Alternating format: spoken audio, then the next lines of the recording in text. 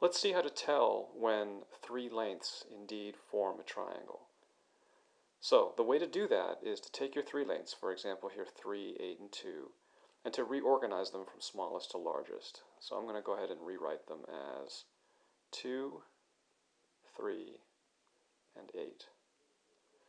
And then take the two smaller lengths and get their sum. So 2 and 3 have a sum of 5.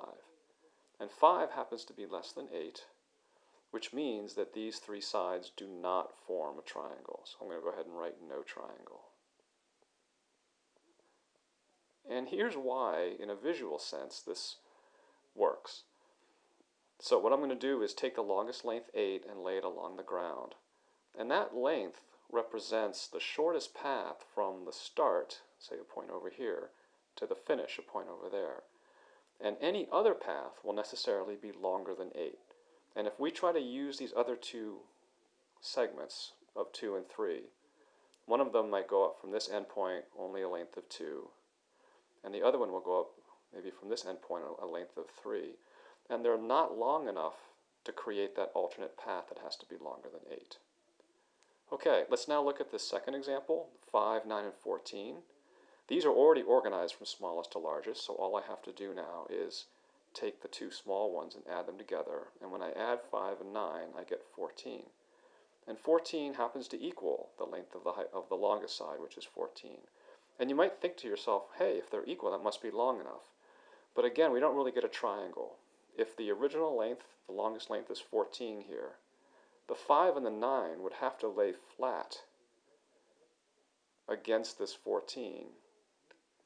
And they don't create any height to form a triangle. So here again, no triangle is possible. Let's now look at the third case that I've put here, and in this third case we have the lengths 7, 13, and 11. So, like before, we'll reorganize these from smallest to largest. So that will be 7, 11, and 13. And when we add up our two smallest lengths here, we get 18, and 18 happens to be longer than 13. So it looks like we can make a triangle. And if we lay the longest side down as 13, we can see that when we have 7 coming up from one endpoint and 11 coming up from the other endpoint, they are indeed long enough to create a path that connects. So those two lengths can form a triangle with length 13. And the next question you might be asking yourself is, okay, so those three lengths, 7, 13, and 11, form a triangle, but what kind of triangle do they form? And that we'll save for another video. That's it.